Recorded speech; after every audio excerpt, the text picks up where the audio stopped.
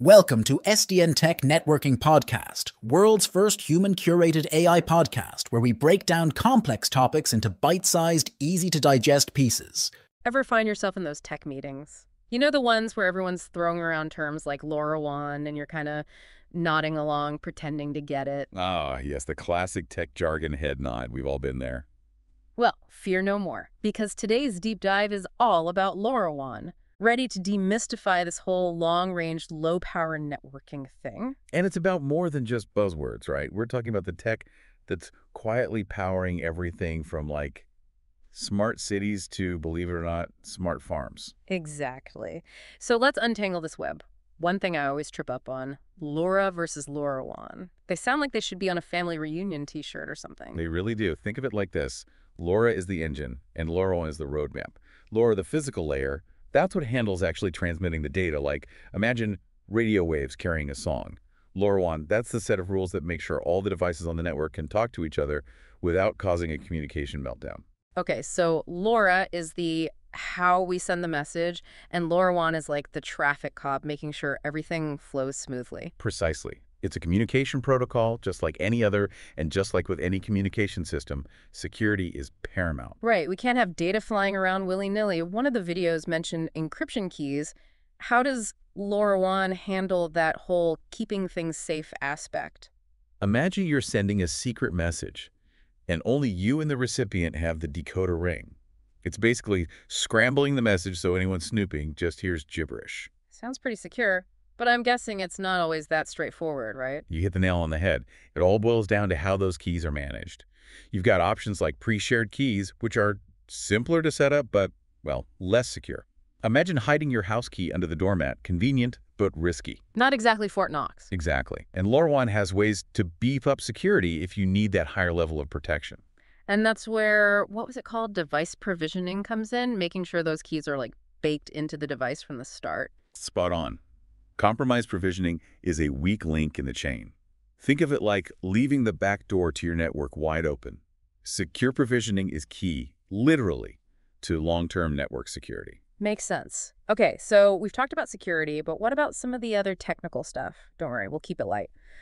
One video kept mentioning spreading factors. What are those and why should we care? Okay, imagine whispering a secret versus yelling it across a crowded room. Higher spreading factor, you're shouting further reach, but you're going to lose your voice faster. Exactly. Higher spreading factor equals longer range, but at the cost of battery life. Yeah. It's a trade-off, but crucial for, say, those remote sensors in the middle of nowhere. Fascinating. And I'm guessing other factors come into play, not just the spreading factor thing. What about like coding rates or bandwidths? You're on fire today. Think of bandwidth like a pipe. Carrying data, bigger pipe, more data, but maybe more prone to interference. Coding rate is like adding redundancy to your message. It eats up more data, but makes sure it gets through even with some hiccups. All about finding that sweet spot for your specific needs. Okay, so all this talk about spreading factors and bandwidths has got me wondering, could I, a non-engineer, set up my own LoRaWAN network? It might sound daunting, but it's more doable than you'd think. Essentially, you need three main ingredients.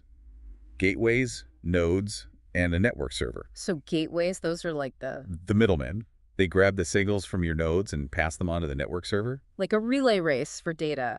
And the nodes are the ones out in the field sending the info back to the gateway. Do those, like, come in different flavors? Big time. You've got everything from these minuscule LoRaWAN modules. I mean, we're talking smaller than those header pins you use for electronics projects, all the way up to heavy-duty industrial-grade things. Wait, smaller than header pins? How do you even work with something that tiny? That's where carrier boards and breakout boards become your best friend. They give you a more shall we say, manageable interface? Makes sense. So with those teeny modules, I'm guessing antenna choice is make or break, right? You bet. Antenna type, even something as seemingly simple as the length of the wire, can drastically affect your range, especially with such small devices. Hold on, the length of the wire matters. How does that even work? Think of it like tuning a guitar string. The length changes the note.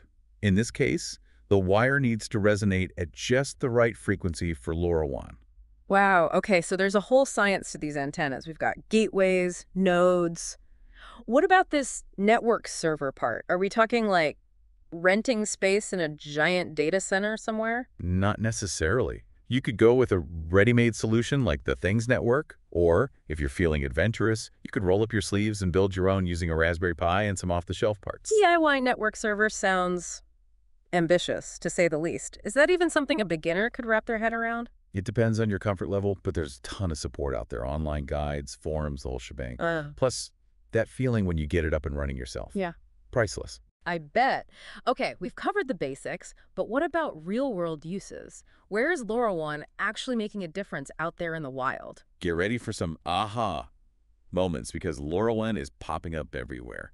We're talking smart cities, think trash cans that tell you when they're full to agriculture, Hmm. with sensors out in the fields monitoring soil moisture so farmers know exactly when and where to water their crops. Okay, that's seriously cool. Seems like the possibilities are pretty much endless, but I'm guessing there are challenges, right? I remember one video mentioned duty cycle limitations. What's that all about? Think of it like having a time limit when you're using a walkie-talkie. You can't just hog the airwaves, right? So it's about preventing network traffic jams, making sure everyone gets a turn to transmit. Exactly. Plus, it helps conserve battery life, which is super important for those off-grid devices. Makes sense. And while we're on the topic of potential downsides, what about security in the real world? Those encryption keys we talked about, how vulnerable are they in practice? That's the million-dollar question. Yeah. Remember device provisioning. If that's not done securely, it's like leaving the keys in the ignition. So even with built-in security features, there's always a chance for human error or someone with less than noble intentions to find a way in. Unfortunately, yes. Security is an ongoing battle, not a one-time fix. It takes constant vigilance from, well, everyone involved. The folks designing the systems, the ones deploying them, and even the end users. It's like a constant game of cat and mouse between the good guys and the bad guys. Exactly. As technology evolves, so do the ways people try to exploit it. Staying informed and up to date on the latest security best practices is crucial for anyone working with LoRaWAN. So it's not just about, you know, building a cool gadget, but thinking about the bigger picture. There's a lot of responsibility that comes with harnessing a technology like this. Absolutely. And, you know, one thing that really hit me while going through these videos was just how massive the potential impact of LoRaWAN could be. I mean, we're talking about a future where practically everything around us is sending and receiving data. It's kind of mind-blowing, right? But let's bring it back down to earth for a sec. One of the videos mentioned that LoRaWAN modules can be unbelievably small, or we're talking smaller than a grain of rice. How does that tiny size actually play out in, like, real-world applications? Miniaturization is a game changer. Those tiny modules open up a whole new world of possibilities, especially when it comes to, say, discrete monitoring and data collection. Imagine tracking valuable shipments, monitoring environmental conditions in like really hard to reach places, or even tracking animal migration patterns. So it's not just the tech itself, but how it's physically embodied that allows for these new use cases. That's pretty cool. But those tiny devices must come with their own design and implementation challenges, right? You're telling me. Working with components that small requires some serious skill and specialized tools. Just imagine trying to solder something that tiny. And then there's the issue of power consumption. To make these things last, they have to be incredibly energy efficient, often running on tiny batteries. Mm. It's a constant balancing act, isn't it? Size, power, performance. You know, all this talk about LoRaWAN has me feeling kind of inspired. It seems like a really exciting field. What advice would you give to someone who's interested in exploring it further, maybe even building their own projects? It is exciting and more accessible than you might think. My advice, start small. Don't be afraid to experiment. There are tons of resources out there, online tutorials, open source projects. You can even get kits with all the components you need to get your feet wet. That's good to know. It's not just for the big tech companies then. Anyone can get involved. Are there any specific projects or applications that you find particularly interesting? One area I'm really fascinated by is the use of LoRaWAN in environmental monitoring and conservation. Imagine a network of sensors spread across a rainforest, collecting data on everything temperature, humidity, animal movement, deforestation. That would be incredible. Talk about using technology for good. It's not just about connecting devices, it's about connecting us to the natural world in a more meaningful way. Exactly. And that's what I find so compelling about LoRaWAN. It has the potential to make our lives more efficient and connected, but also to help us understand and tackle some of the biggest challenges facing our planet. And that brings us to another important aspect that we need to talk about the potential downsides and risks associated with a technology as powerful as LoRaWAN. Absolutely. Like any tool, It can be misused. We've touched on the surveillance aspect, but there's also the whole issue of data security and privacy, especially with more and more devices coming online all the time. It's about finding that balance, right? Harnessing the power of the technology, but making sure it's used ethically and responsibly. One of the videos really emphasized the importance of having strong security measures in place, like encryption and authentication, to prevent unauthorized access and data breaches. Security is paramount, no question, especially as LoRaWAN becomes more integrated into things like power grids, transportation systems, healthcare.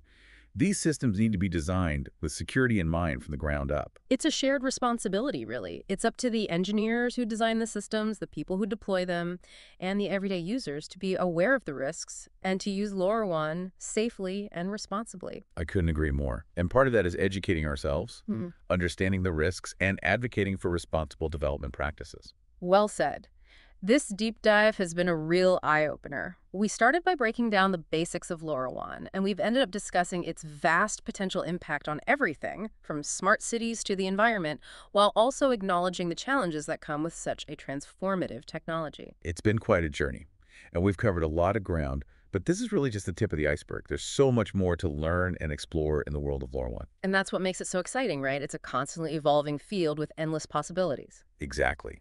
And to our listeners, we'll leave you with this thought. As LoRaWAN continues to shape the future of connectivity, what role will you play? Will you be a builder, an innovator, a watchdog, making sure it's used responsibly, or just an informed citizen? The choice is yours. It's like we've been saying all along, size isn't everything. Though it's pretty amazing how those tiny LoRaWAN modules can be so powerful. It really speaks to how far we've come in terms of miniaturization, right? But what really gets me is how that translates to real-world impact. I mean, we're talking about tracking endangered species, monitoring remote pipelines for leaks, all with these tiny low-power devices. It's incredible. It almost sounds too good to be true. Which brings me to, well, there are always two sides to every coin, aren't there? Right. No technology is perfect, and LoRaWAN is no exception.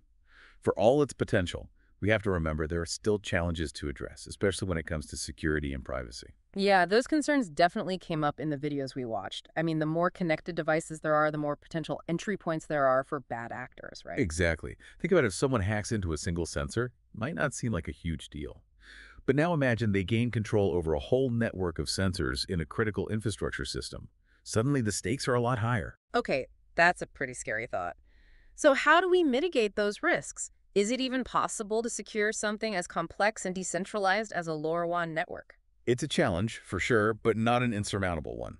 A lot of it comes down to implementing robust security measures at every level, from the device itself to the network architecture and everything in between. So it's not just about encryption keys and secure authentication, but about a holistic approach to security. Exactly. We need to be thinking about things like secure boot processes, tamper-proof hardware, and even secure element chips that store sensitive data in a way that's virtually impossible to hack. It sounds like security in the LoRaWAN world is a multi-layered beast. Yeah. What about the ethical implications? We've talked about the potential for good, but what about the potential for misuse? That's a conversation we can't afford to shy away from. Like any powerful technology, LoRaWAN can be used for good or bad.